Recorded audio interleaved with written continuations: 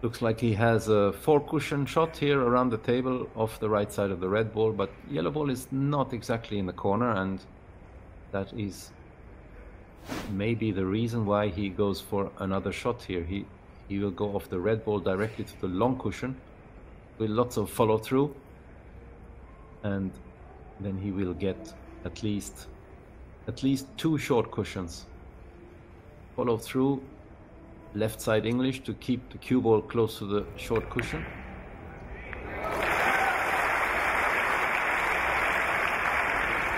That was three cushions. We can see that again uh, on the replay, you can see it. First two cushions very close to the corner.